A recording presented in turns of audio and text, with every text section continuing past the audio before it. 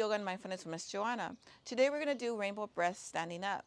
And here I encourage you to um, listen to your body because we always want to be safe. And I invite you to use your imagination. So let's begin. So here, notice like your crown is over your heart and your heart over your pelvis. And here we're lining our spine nice and straight, standing tall like a mountain. And then here we're going to inhale, reach your arms up to the sky as we breathe in, rising up. And then here we're going to exhale, float one hand down, arm down. And then here, exhale, reaching over, making half a rainbow. Here we're squeezing the muscles of our hips as you breathe out. Inhale here, reach your arms up to the sky. Feel those fluffy clouds and exhale, make the other half a rainbow as you breathe out.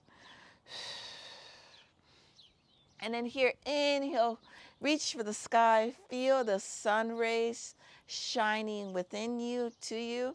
And here, feel the clouds as you spread your fingers. And here, we're gonna make a beautiful magical rainbow here as we exhale, as we breathe in and breathe out. You can close your eyes as you float your arms down and see this beautiful rainbow around you. And then here we're going to move these beautiful colors all around us as we move our bodies side to side.